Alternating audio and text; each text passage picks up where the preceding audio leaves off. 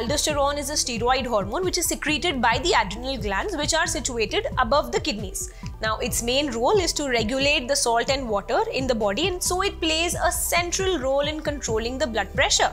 Now, too much of it can lead to high blood pressure, cardiovascular, and even kidney diseases.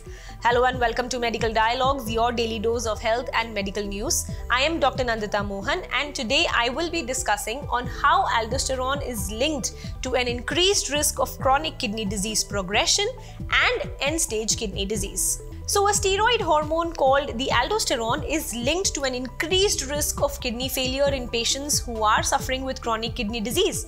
This is in accordance to a study that was published in the European Heart Journal.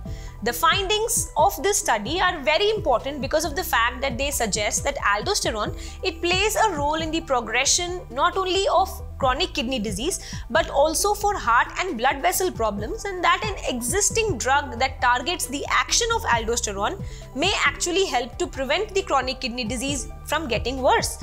So the researchers investigated the associations between aldosterone concentrations in the blood and kidney disease progression close to among 3600 participants in the chronic renal insufficiency cohort study.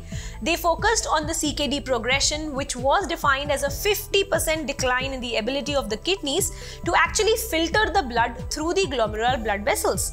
They followed the patients for an average of nearly 10 years. So during this time, the CKD progression occurred in 38% of the participants.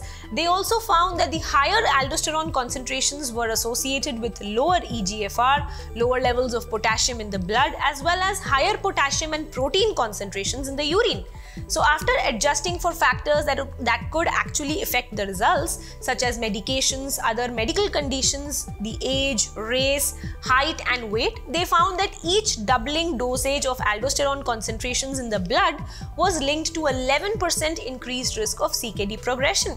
Therefore, it was concluded that these findings are important as they suggest that higher concentrations of aldosterone may play a major role in CKD progression as well as cardiovascular disease in patients with chronic kidney disease. That's all for today. Stay tuned to Medical Dialogues for latest updates. Never miss a medical update from Medical Dialogues. Like, subscribe, and press the bell icon.